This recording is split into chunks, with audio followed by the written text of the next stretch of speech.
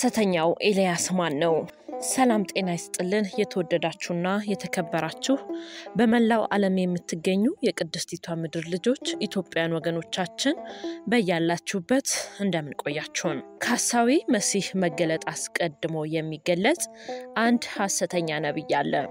አሁን በምድራችን ላይ ለቁጥር እያዳገቱ የሚገኙ በርካታ ሐሰተኛ ነቢያቶች ለዚህ ለዋናው ሐሳዊ መሲህ መንገድ ጠራጊዎች ናቸው። በሀገራችን ኢትዮጵያ ብሎም በኦርቶዶክስ ተዋሕዶ ስም ከጊዜ ወደ ጊዜ እየተበራከቱ የመጡ ሐሳዊ ነቢያት ምን እየጠቆሙን ነው ያሉት?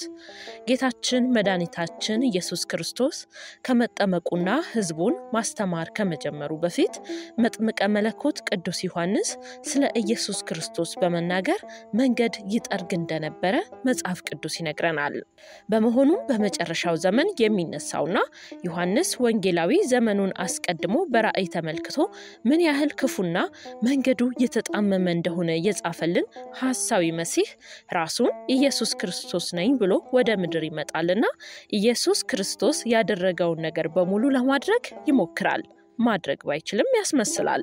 በመሆኑም ኢየሱስ ክርስቶስ ከመገለጡ በፊት ዮሐንስ መንገድ እንደጠረገው ሁሉ ሐሳዊ መሲህ የተባለው አውሬ ከመገለጡ በፊትም የእሱን መንገድ የሚጠርግ ሐሰተኛ ነቢይ ይነሳል። ይህ ሐሰተኛ ነቢይ ከመገለጡ አስቀድሞም ደግሞ ሌሎች በርካታ ሐሰተኛ ነቢያት ይነሳሉ። ልክ አሁን በዘመናችን እያየነው እንዳለ ነው ማለት ነው። ይህ ሐሰተኛው ነቢይ ታዲያ እኔ ኤልያስ ነኝ ብሎ ነው የሚመጣው። ለመሆኑ ለምንድን ነው ኤልያስ ነኝ ብሎ የሚመጣው?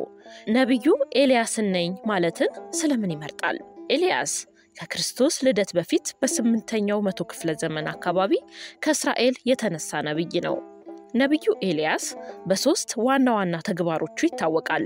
የመጀመሪያው በእስራኤል ተንሰራፍቶ የነበረውን የባዕድ አምልኮ ያጠፋና አምልኮተ እግዚአብሔርን ያጸና መሆኑ ሲሆን ሁለተኛው ደግሞ ንጉሥ አክዓብ ኤልዛቤልን አግብቶ ይፈጽም የነበረውን ጥፋት ሳይፈራና ሳያፍር ፊት ለፊት የገሰጸና ለእውነት ብቻ የቆመ ነቢይ መሆኑ ነው።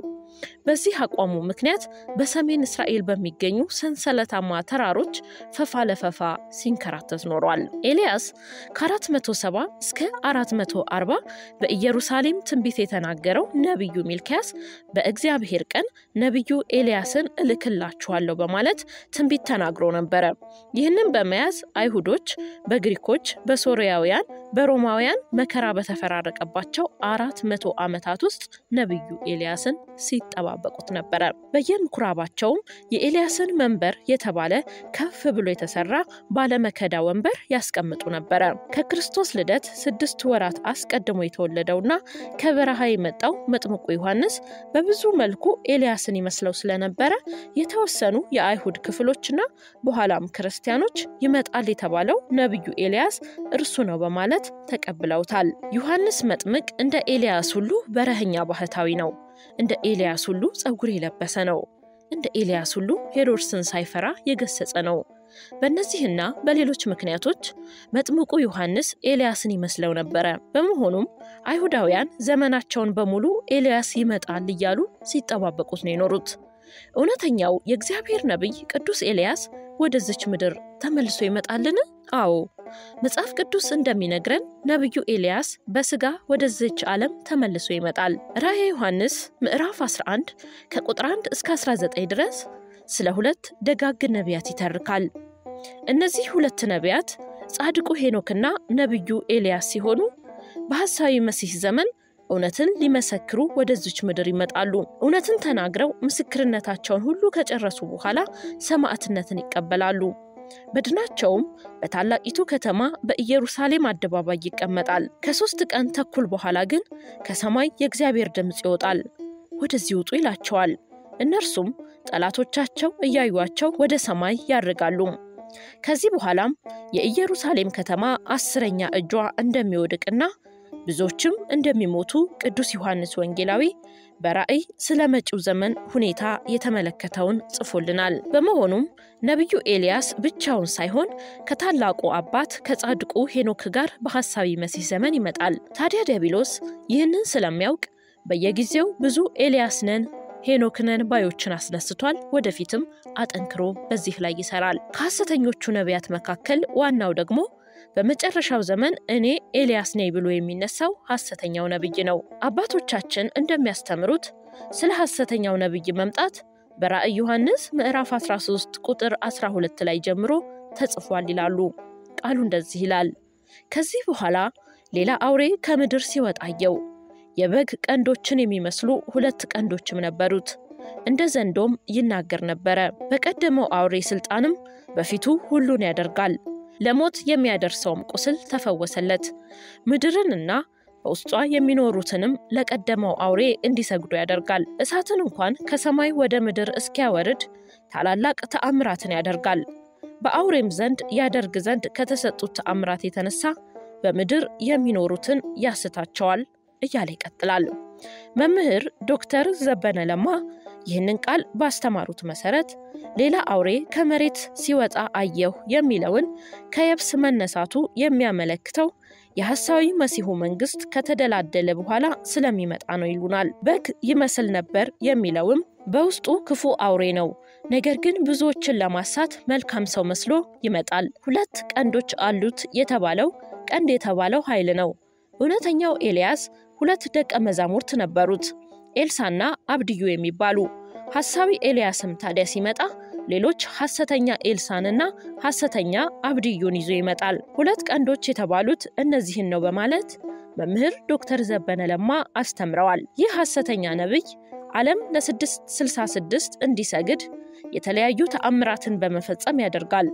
ብዙዎችን አስቶ ለዲያብሎስ ያሰግዳል። ብዙዎችንም ከቤተ ክርስቲያን ያስወጣል። ዲያብሎስ አስቀድሞ የሚነገሩ ትንቢቶችን ያውቃልና በዚያ ትንቢት መሰረት ሐሰተኛ ሰዎችን ያስነሳል። ነቢዩ ኤልያስ እንደሚመጣ በትንቢተ ሚልኪያስ ምዕራፍ አራት ቁጥር አራት ላይ ለእስራኤል ሁሉ ሥርዓትንና ፍርድን አድርጌ በኮሬብ ያዘዝኩትን የባሪያዬን የሙሴን ሕግ አስቡ።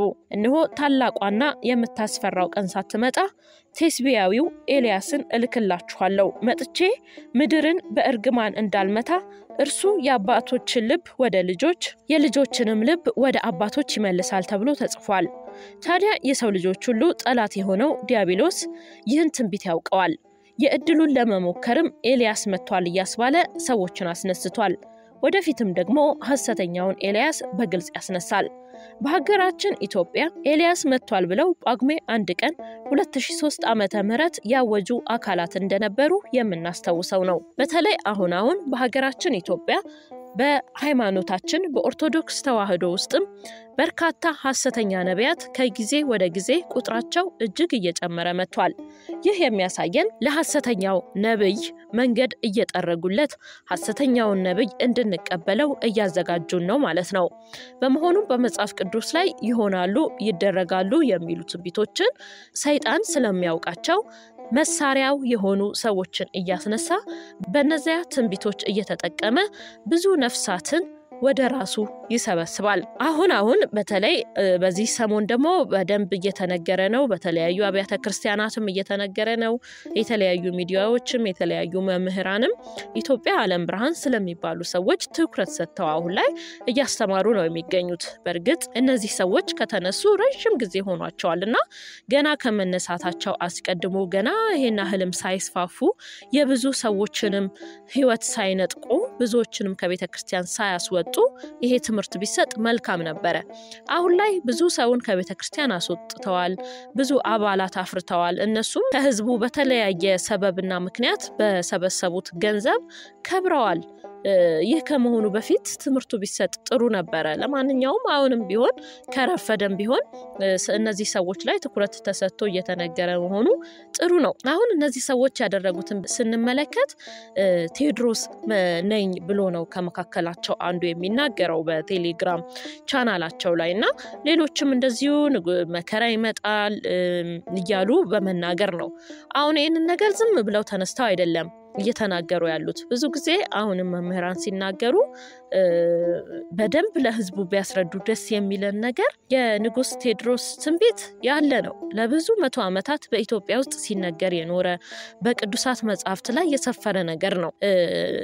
ንጉሥ ቴዎድሮስ በኢትዮጵያ ላይ ይነግሳል የሚለውን ትንቢት ተከትሎ ነው እና አፄ ቴዎድሮስ ሁለተኛ እንኳን ስማቸውን ከካሳ ኃይሉ ወደ ቴዎድሮስ ሊቀይሩ የቻሉት እንኳን የዛን የቴዎድሮስ ትንቢት ስለ ስለሚያምኑበት በገዳም ከአባቶች ጋር እየተማሩ ሲያድጉ ያንን ትንቢት አባቶች ስለነገሯቸው እና ብዙ ሰዎችም ደግሞ በአካባቢያቸው ትንቢት የተነገረለት ንጉሥ አንተ ነው ይሏቸው ስለነበረ ነው ስማቸውን ከካሳ ኃይሉ ለውጠው ቴዎድሮስ ሁለተኛ ተብለው የነገሱት ማለት ነው። በመጽሐፈ ሚስጥር ላይ እና አባ ጊዮርጊስ ዘጋስጫ ጽፈዋል። ስለዚህ ዘመን እነ ገድለ ቅዱስ ፊቅጦር ላይ እነ ራእየ ሳቤላ፣ ራእየ ሲኖዳ በርካታ ፍካሬ ኢየሱስን ጨምሮ በርካታ መጽሐፍቶች ላይ ተጽፏል። ይህንን የተጻፈን ትንቢት ነው ልክ እንደ ኤልያስ እንደ ሌሎቹ ሲጠቀሙበት እንደነበረው አሁንም እነዚህ ዓለም ብርሃን የሚባሉት ይህንን የተነገረውን ትንቢት ነው ወስደው በራሳቸው መንገድ እየተጠቀሙ ሕዝብን ለማጥመጃነት እና የራሳቸውን የግል ፍላጎት ለማስፈጸሚያነት ያዋሉት።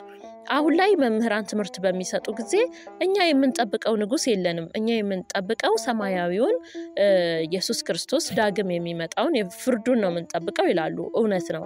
እኛ ኦርቶዶክስ ተዋሕዶ ሃይማኖት የምንከተል እንደዚሁም ሌሎችም ክርስቲያኖች ኢየሱስ ክርስቶስ ለሐዋርያቱ ከማድረጉ በፊት ዳግም እንደሚመጣ ነግሯቸዋል። ስለዚህ ዳግም መምጣቱን እንጠብቀዋለን። መዳረሻችንም መንግስተ ሰማያት ነው። ምድራዊ የሆነ ምንም ነገር የለንም። ግን የቴዎድሮስ መምጣት የሀገር ጉዳይ ነው። ኢትዮጵያ የእግዚአብሔር የክብሩ መገለጫ የሆነች ምድር ናት። የእግዚአብሔር የሆኑ ነገሮች ሁሉ በአደራ የተቀመጡባት፣ ብዙ ቅዱሳን ያሉባት፣ ብዙ ቅዱሳን ስፍራዎች ያሉባት፣ ብዙ ቃል ኪዳን የተገባላት ቅድስት ምድር ናት ሀገራችን ኢትዮጵያ። በመሆኑም እቺ ቅድስት ምድር በመሆኗ ሳጥናኤል ስለሚቀናባት ሊያጠፋት ስለሚፈልግ ሊቆጣጠራት ስላልቻለ እሱ በሚፈልገው መጠን እንደሚታወቀው ለረጅም ዓመታት በደል ሲደርስባት ህዝቦቿ ሲገደሉ፣ ሲታሰሩ፣ ሲራቡ፣ ሲቆስሉ ያለ ጥፋታቸው ያለ በደላቸው ብዙ ነገር ሲደርስን ይኖረው እና ለዚች ምድር እግዚአብሔር ይደርስላታል። እግዚአብሔር መሆኑን የዚች ምድርም የሁሉም ምድር ባለቤት እግዚአብሔር ነው። ግን ደግሞ ለተበደሉ እግዚአብሔር ፍትህን ይሰጣልና ለኢትዮጵያ ፍትህ የሚደርስ የሚመጣበት እንደዚህ በከንቱ የፈሰሰው የወገኖቻችን ደም ፍትህን የሚያገኝበት ጊዜ ይመጣል። እሱ ነገር ነው በመጽሐፍቱ የተጻፈው እና ንጉሥ ቴዎድሮስ ይመጣል ማለት ሰማያዊው ምጽአትን አንጠብቅም እሱን ነው የምንጠብቀው ማለት አይደለም። እነዚህ ኢትዮጵያ ዓለም ብርሃን የሚባሉት ትንቢቱን ወስደው በራሳቸው ቆልምመው በቃ ቴዎድሮስን ሁሉ ነገራቸው አድርገው ነው እየተጠቀሙበት ያሉት። ግን ለእነዚህ ለሳቱ ሰዎች ደግሞ መልስ ስንሰጥ ትንቢቱን ባልናቀ መንገድ ሳናጣጥል ቢሆን የበለጠ ጥሩ ይሆናል እና ብዙዎችንም መመለስ ይቻላል ከጠፉበት መንገድ ብለን እናስባለን እና ሰይጣን እንደዚህ ነው የተቀመጡ ትንቢቶችን ያሉ ትንቢቶችን እየወሰደ በራሱ መንገድ እየተረጎመ ይጠቀምባቸዋል። በመሆኑም ዓለም ብርሃን የሚባሉትን እስከዛሬ ሲነገር የነበረውን ለብዙ መቶ ዓመታት በኢትዮጵያ ሲነገር የነበረውን ትንቢት ወስደው ለራሳቸው መጠቀሚያ አደረጉት። ይኸው አሁን ከነሱ በኋላ ቴዎድሮስ ብሎ መናገር የኢትዮጵያ ትንሣኤ ብሎ መናገር የሚያሳቅቅ ነገር ሆኗል። ምክንያቱም ቴዎድሮስ ይመጣል ብለን ካልን እና ዓለም ብርሃን ናችሁ የሚል አይነት ነገር ይነሳብናል በማለት መምህራኑ ደፍረው አያስተምሩም። ይህንን ጉዳይ እንዲህ እንዲሆን አድርገውታል። የእኛን ተስፋችንን እግዚአብሔር አምላክ ያስቀመጠልንን ተስፋችንን ይህንን ያህል ደፍረን ማንናገረው እስኪሆን ድረስ አድርገውናል። እንግዲህ ሰይጣን ማለት እንደዚህ ነው። ስለዚህ ከሐሰተኛ ነቢያት ልንጠበቅ ይገባናል። ትንሽ እውነትን ይዘው ነው ሕይወታችንን የሚነጥቁን። ደግሞ ወደፊት እኮ የሚመጡት ለሀሳቢ ነብዩ መንገድ የሚጠርጉት ሌሎች ሐሰተኛ ነቢያት እኮ ብዙ ተአምራትን ማድረግ የሚችሉ ናቸው። እኛ አንድ መልኩን እንኳን ያላየነው ማን እንደሆነ እንኳን የማናቀው ሰው ተደብቆ እኔ ቴዎድሮስ ነኝ። እንደዚህ አድርጉ እንደዚህ አድርጉ እያለ እያዘዘ ይሄን ያህል ህዝብን መምራት ከቻለ በመጽሐፍ ቅዱስ በተጻፈው መሰረት ይሄ ሐሰተኛው ነቢይ ሐሰተኛው ኤልያስ እኮ በርካታ ተአምራትን ያደርጋሉ። ከሰማይ እሳት ያወርዳሉ። ብዙ ተአምርን ይሰራሉ። እነሱ በሚመጡ ጊዜማ ህዝብ ምን ሊሆን ነው? ምንም ተአምር ሳያይ ምንም ነገር በወሬ ብቻ ይሄን ያህል ከተነዳ፣ ስለዚህ ራሳችንን ቆም ብለን መታዘብ አለብን። ሰውን መከተል በፍጹም የለብንም። ሰው ይመጣል፣ ይሄዳል፣ ይወድቃል፣ ይነሳል። ከሰው ጋር ምንም አይነት ጉዳይ የለንም።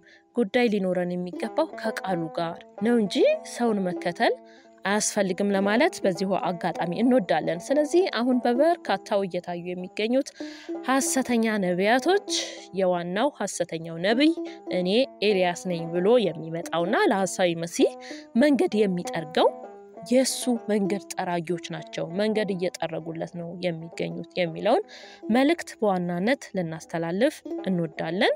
ስላዳመጣችሁን እናመሰግናለን።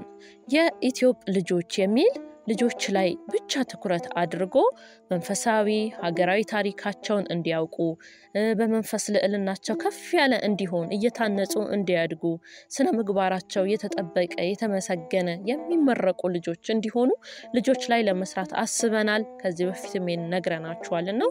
ፕሮግራሞቹ ኢትዮፕ ቲዩብ ላይ አንድ ላይ ተጣበው ከሚተላለፉ ወይም ደግሞ ልጆችም ለማግኘት ስለሚከብዳቸው ራሱን የቻለ ቻናል ከፍተናል ለኢትዮጵ ልጆች የሚሆን ማለት ነው። የቻናሉ ስም የኢትዮጵ ልጆች ነው።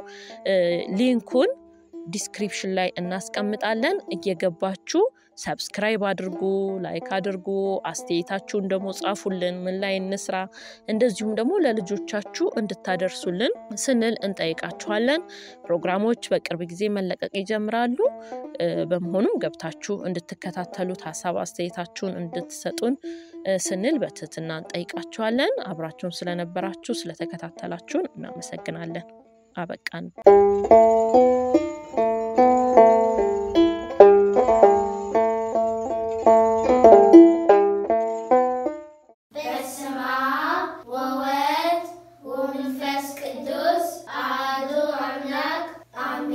መንፈሳዊና ሀገራዊ ታሪኮች ለልጆች አስተማሪ የሆኑ መንፈሳዊና ሀገራዊ ታሪኮች ልጆች በሚረዱትና በሚወዱት መንገድ በኢትዮጵ ልጆች ፕሮግራም ላይ ይቀርባል።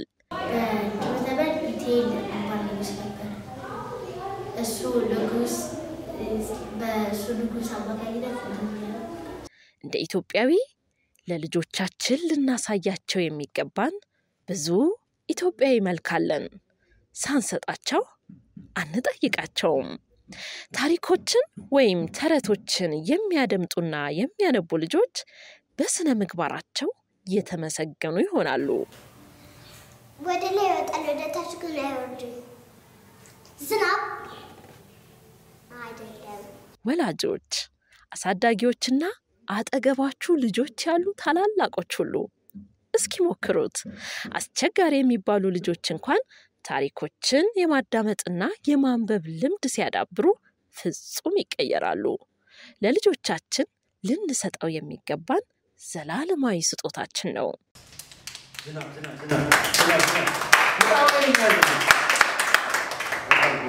የአእምሮ ሀብታም ሆነ የገንዘብ ድሃ ብትሆን አእምሮ ሀብታም ስለሆነ የብሩን ሀብትነት ታመጣው ትችላለን። የኢትዮጵ ልጆች አልማዛውያን ናቸው።